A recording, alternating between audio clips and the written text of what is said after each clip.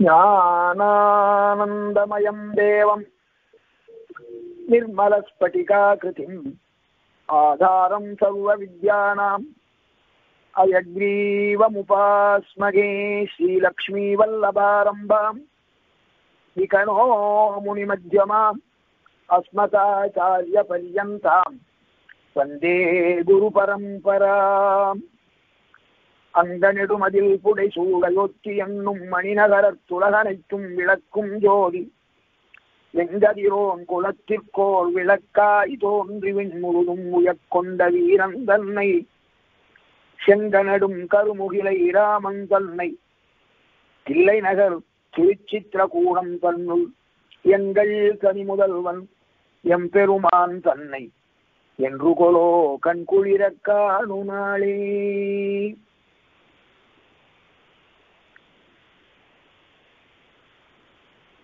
எம்பெருமானுடைய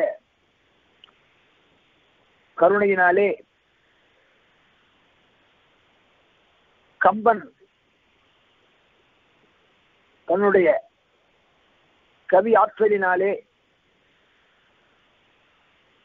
நாரணன் விளையாட்டெல்லாம் நாரத முனிவன் கூற ஆரண கவிதை செய்தான் அறிந்த வான்மீகி என்பான் என்று வான்மீகியாகிய ஆதிகவி ராமாயணத்தை இருபத்தி நாலாயிரம் பாடல்களிலே சம்ஸ்கிருதம் என்ற வடமொழியிலே தந்திருக்கிறார். அதை நமக்கெல்லாம் கிடைக்க வேண்டும் என்பதற்காக கவி சக்கரவர்த்தி கம்பநாட்டாழ்வார் தமிழிலே தந்திருக்கிறார். அந்த கம்பராமாயணத்தை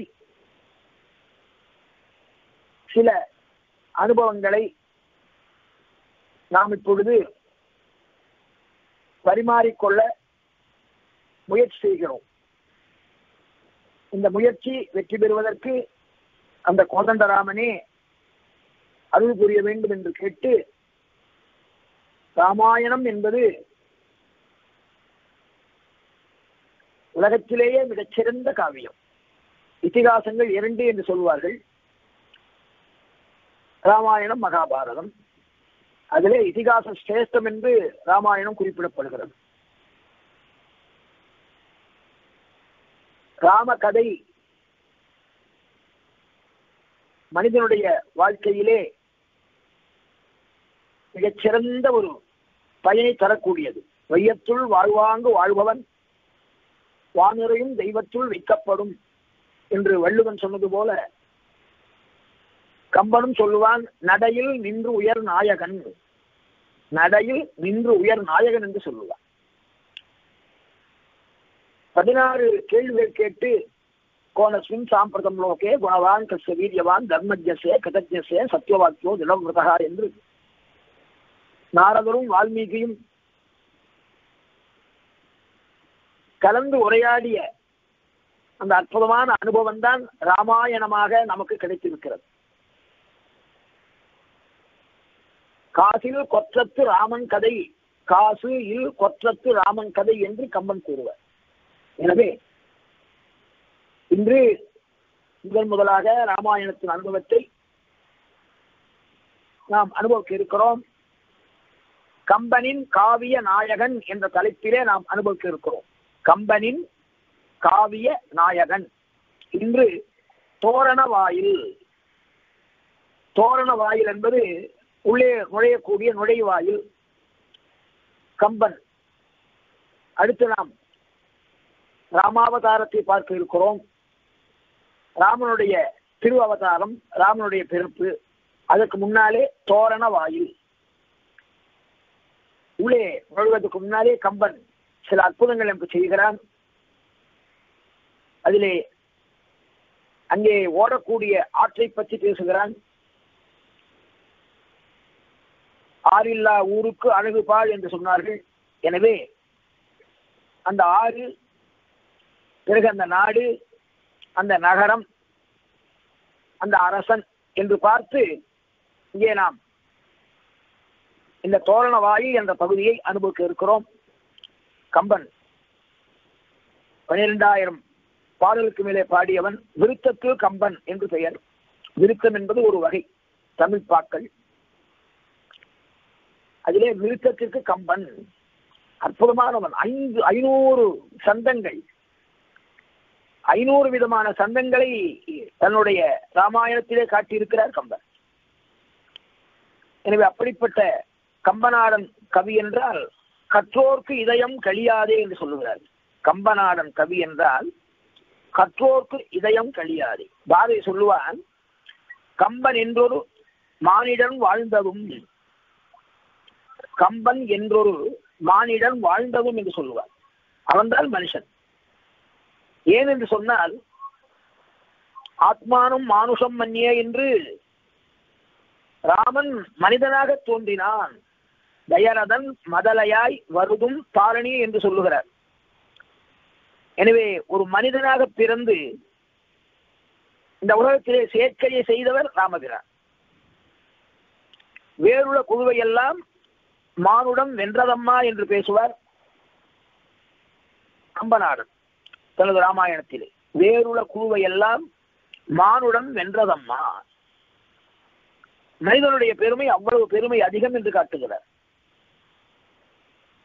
அரிது அறிவு மானிடராதலது என்று அவ்வை பிராட்டி சொல்லுவாள். எனவே அப்படி இங்கே மனிதனுடைய பெருமையை காட்டுவதற்காகவே ராமாவதாரம் என்று கூட சொல்லுவார்கள். அந்த ராமாவதாரத்திலே கம்பன் தொடங்குகிறான் கம்பீரமாக தொடங்குகிறான். உலகம் யாவையும் தாமுள தாமுளவாக்கலும் நிலை பெருத்தலும் நீக்கலும் நீங்கள அழகில்லா விளையாட்டுடையாரவர் தலைவர் அன்னவர் கேசரன் நாங்களே உலகம் யாவையும் தாமுள ஆக்கலும் நிலை பெருத்தலும் நீக்கலும் நீங்கள அழகிலா விளையாட்டுடையாரவர் தலைவர் அன்னவர்க்கே சரண் நாங்களே.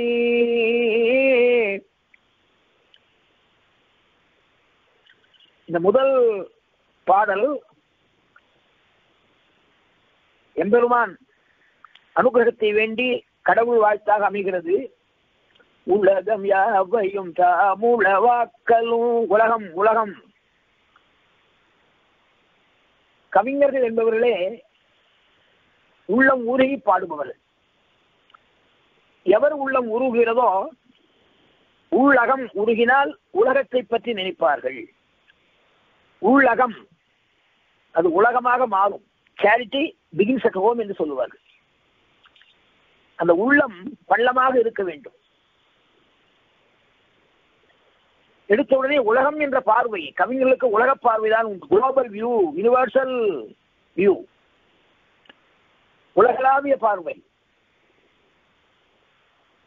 உலகம் யாவையும் என்று ஆரம்பிக்கிறார் கம்பர்.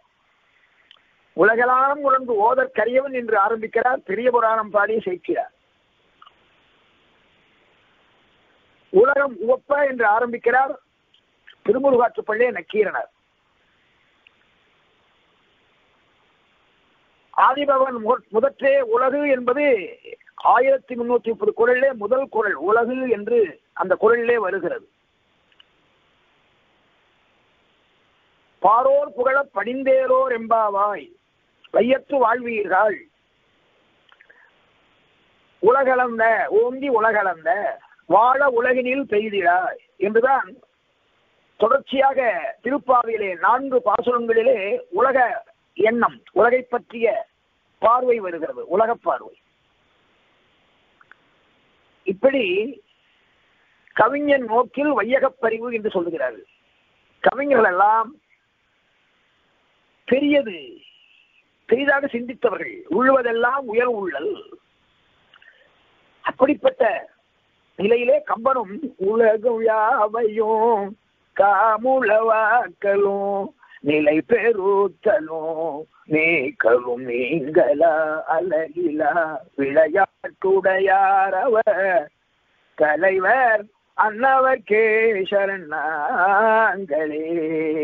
உலகம் யாவையும் தாம் உளவாக்கல் உளவாக்கல். உலகம் யாவைன்னு சொல்லும் பொழுது எல்லா உலகங்களையும் அகில உலகம் அகில புவன ஜென்ம ஸ்தேம பங்காதி லீலே என்று சீவாஷ்யம் பேசுகிறது. அதே மாதிரி அதே அந்த கருத்தை முன்புற முன்னம் முதலிலே கம்பநாதன் சதகோபர் அந்தாதி பாடியவன் குறுகை நாதன் குறைகரல் காப்பதே என்று வேண்டிக் கொண்டவன் உலகம் யாவையும் தாமுளவக்கலும். ஆன்மீக உலகம் அரசியல் உலகம் இக உலகம் பர உலகம் மனித உலகம் முனிவர் உலகம் தேவர் உலகம் அரக்கர் உலகம் குரங்கு உலகம் பட்சி உலகம் தாவர உலகம். ராமாயணத்துல எல்லாம் வருகிறது. சர்வஜன சம்மானித. உலகம் யாவையும் தாமுளவாக்கலும் சம்பவாமி யுகே யுகே. எம்பெருமான் என்ன செய்கிறானா? மீண்டும் மீண்டும் உலகத்தை படைக்கிறார். பிரளயம். மறுபடியும் சிருஷ்டி. மறுபடியும் பிரளயம். உலகம் யாவையும் தாமுளவாக்கலும் ஏற்கனவே உலகம் இருந்திருக்கிறது. மறுபடியும் அதே உலகத்தை அதே மாதிரி படைக்கிறானாம் தாம் உலகலும் என்ன செய்கிறான் நிலை பெருத்தலும் நீக்கலும் நீங்கள அழகிலா விளையாட்டுடையார். நிலை பெருத்தலும் ஈட்டலும் காத்தலும் காத்த வகுத்தலும் வல்லது அ- அரசு என்று சொல்வர் வள்ளுவர். ஒரு பொருளை சம்பாதிக்க தெரிய வேண்டும். அதை லட்சணம் காப்பாற்ற தெரிய வேண்டும். அதை எப்படி செலவு செய்ய வேண்டும் என்று தெரிய வேண்டும். எம்பெருமான் உலகத்தை படைக்கிறான் படைத்த உலகத்தை காப்பாற்றுகிறார். நிலை பெருத்தலோ நீக்கலும் தர்ம சம்ஸ்தாபனார்த்தாய சம்பவாமி யுகே யுகே. நீக்கலும் பிறகு அந்த உலகத்தை அழிக்கிறார். ஆக படைத்தல் காத்தல் அழித்தல். அதற்கு அதிகாரிகளை நியமிக்கிறார். ஒரு மிகச்சிறந்த அரசன் யார் என்று கேட்டால் தலைவன் யார் என்று கேட்டால் மேலாளன் யார் என்று கேட்டால்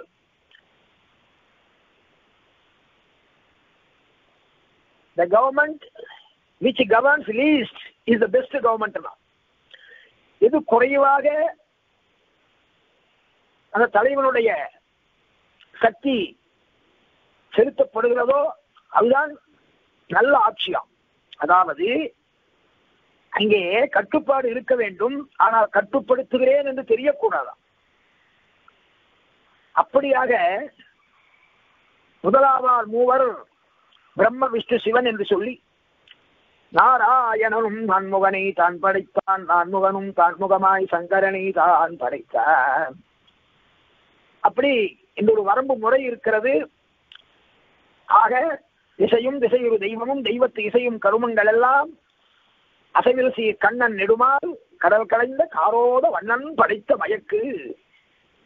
அப்படி உலகம் யாவையும் தாம் உளவாக்கலும் நிலைவெறுத்தலும் நீக்கலும் அடுத்து ஒரு அற்புதமான வார்த்தை போடுகிறார் கம்பன். நீங்களா அழகிலா விளையாட்டு நீங்களா. எம்பெருமான் பிரியவே மாட்டானா? இந்த உலகத்தின் மேலே அவ்வளவு கருணை. உடலை படைத்தான் அந்த உடலுக்குள்ளே ஆன்மாவை படைத்தான் ஆன்மாவுக்குள்ளே அவன் இருக்கிறான். எனவே இந்த உலகத்திலே படைப்பு நடைக்கு நடைபெறுகிறது. காத்தல் நடைபெறுகிறது. அழித்தல் நடைபெறுகிறது. ஆனாலும் எம்பெருமான் உடனே இருக்கிறான் நீங்களா அவன் என்ன செய்கிறானா? எப்படி செயலாற்றுகிறானாம்? அழகிலா விளையாட்டுடையார். முடிவில்லாத விளையாட்டு தீராத விளையாட்டு ஓயாத விளையாட்டு. லீலை என்று சொல்லுகிறார்கள்.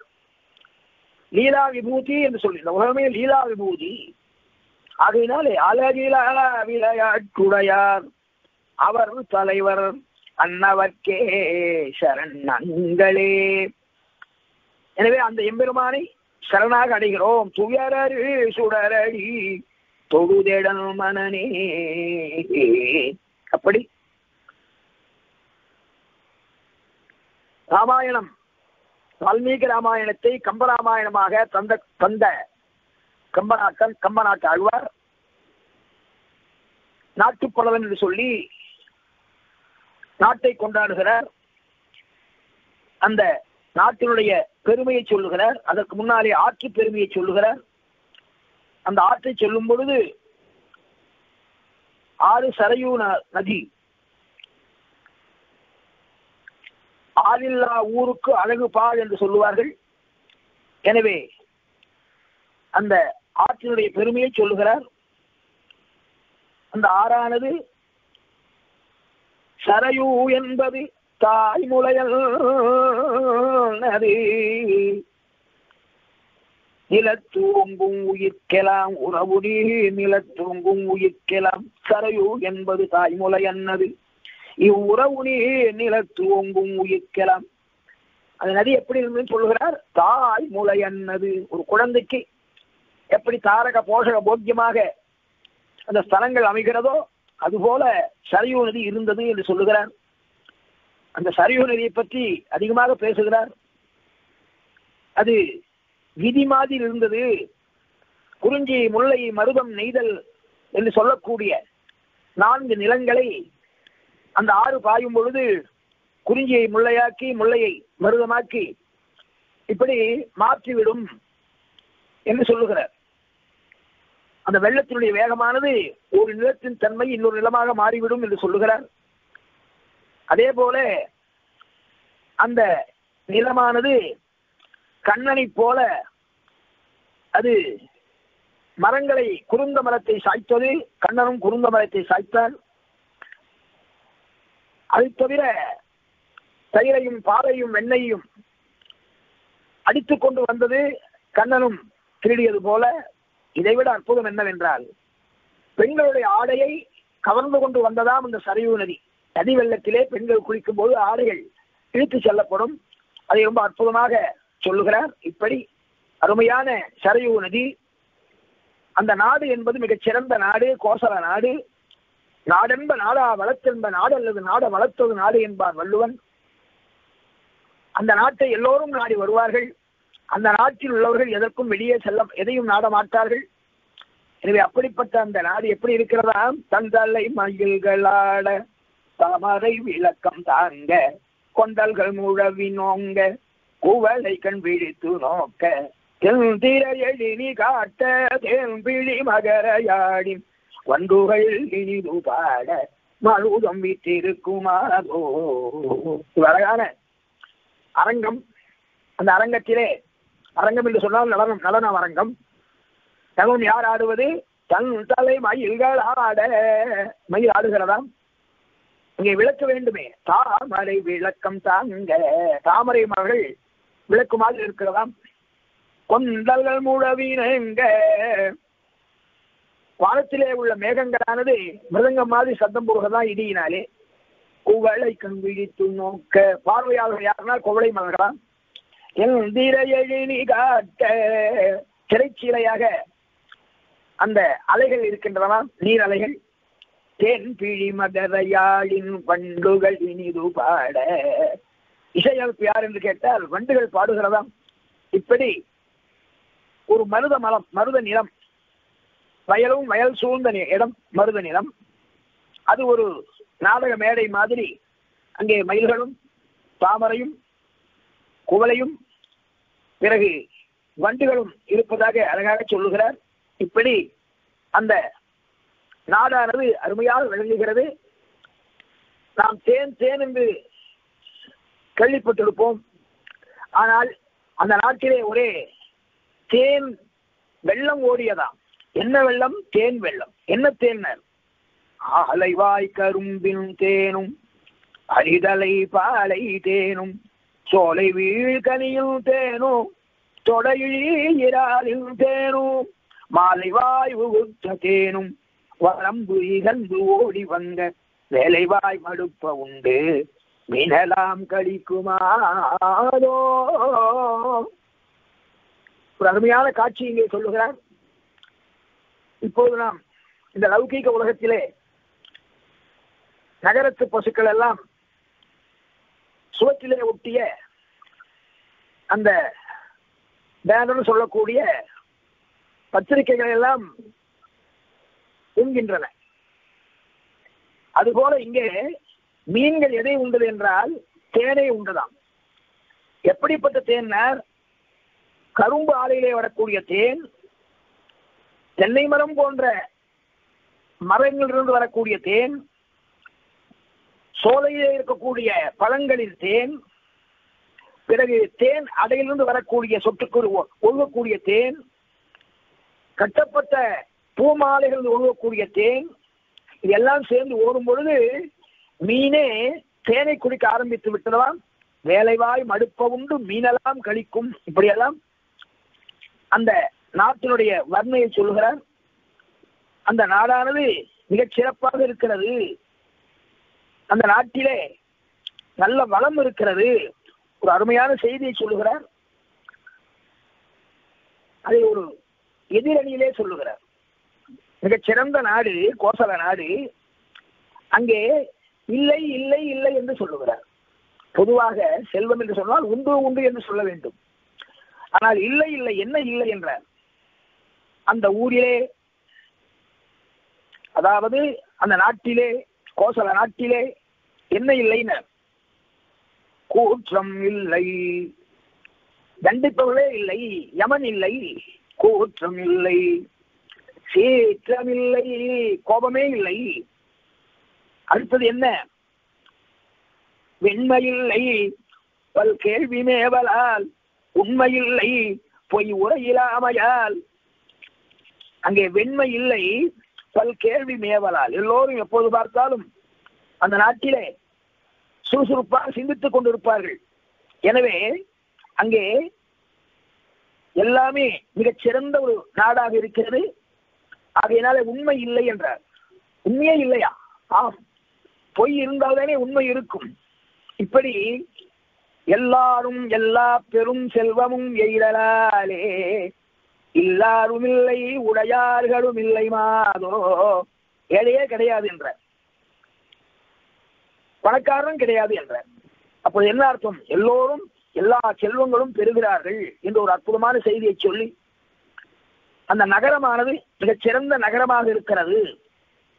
அயோத்தியா நாம நகரி புண்ணியா பாபகரி சுப. அந்த நகரம் எப்படி இருக்கிறது? பங்கு பேரருளும் தருமமும் துணையா. தம்பகை புலங்களைந்தவிக்கோ.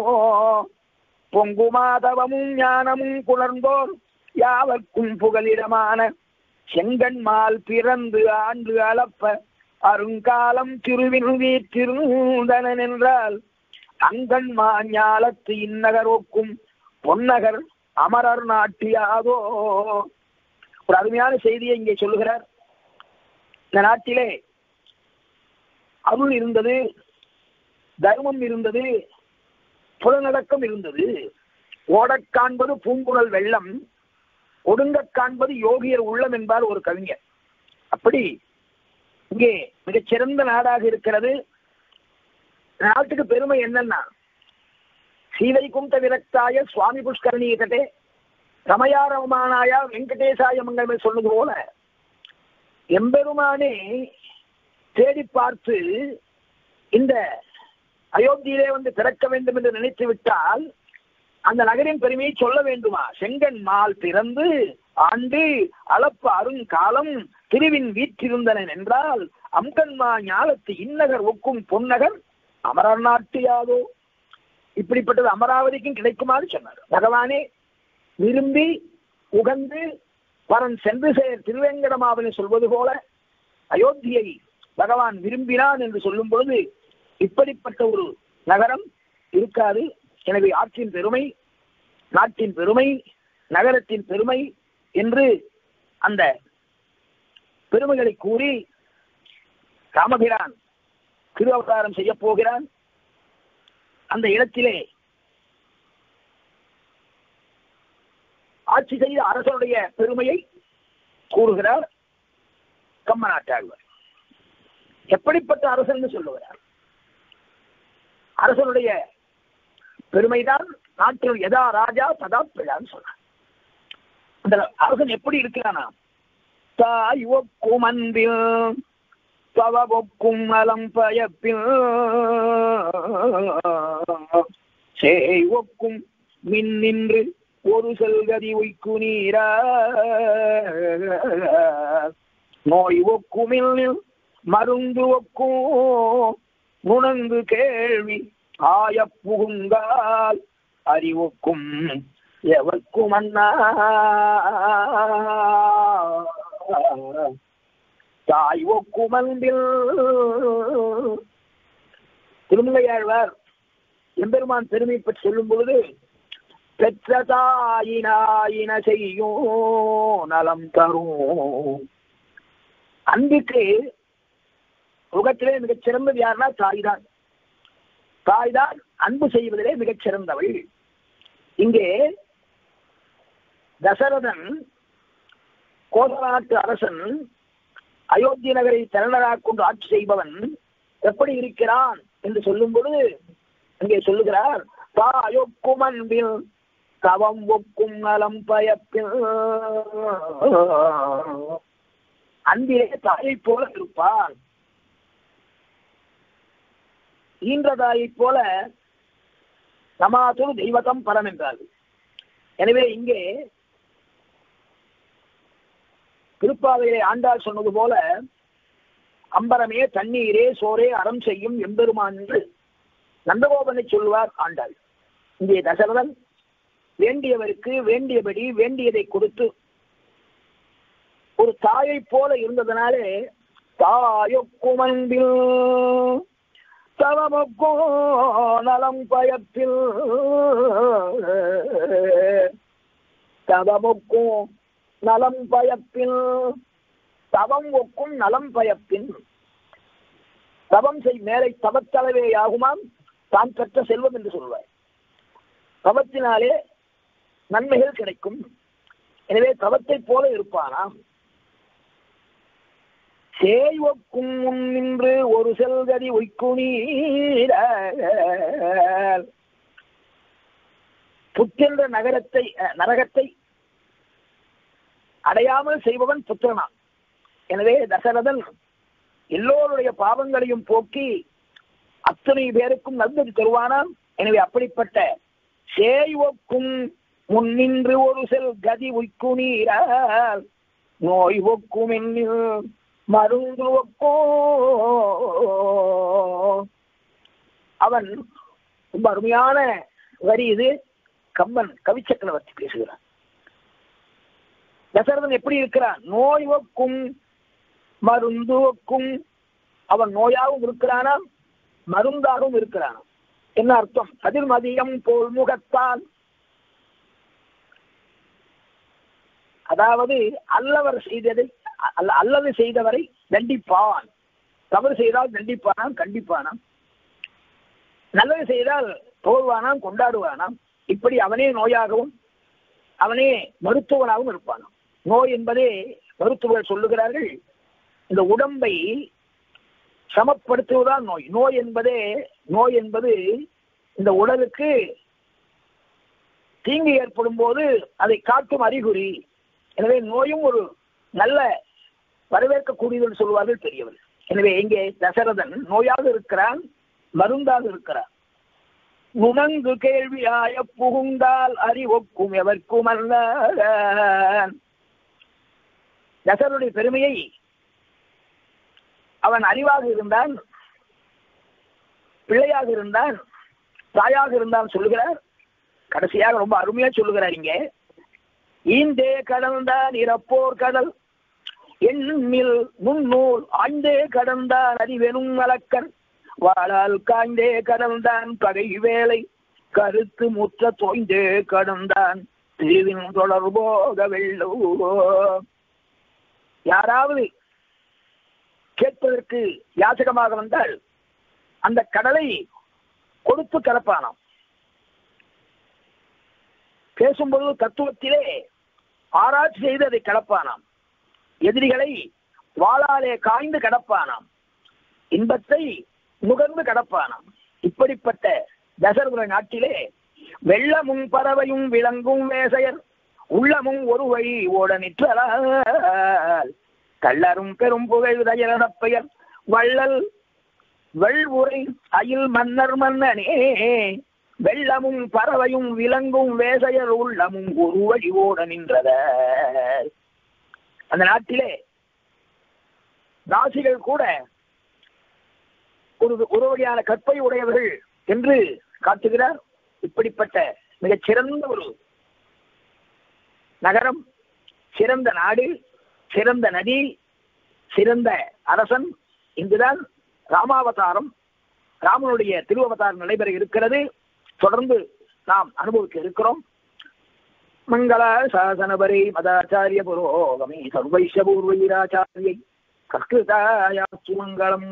ராமனை எண்ணி மகிழ்ந்திடு நெஞ்சது காமமழிந்து தெளிந்திடுமே பூமகள் நாதன் புரிந்திடு நன்மையை பொன்மையினாவும் புகந்திடுமோ தேனமர் பொய்கையில் மீனி நம் துள்ளிட தென்றலும் தென்னையும் சூழ்ந்திடவே. வானவர் கை தொழ வண்டி நமாத்திழவாய் தொழி சூழ். வகுடாரண்யமே லக்ஷ்மி வல்லப சங்கல்ப வல்லபாய மகாத்மனே. ஸ்ரீமத் விகனசே பூயாத் நித்யஸ்ரீ நித்யமங்கலம் சர்வம் ஸ்ரீ. கிருஷ்ணார்ப்பணமஸ்து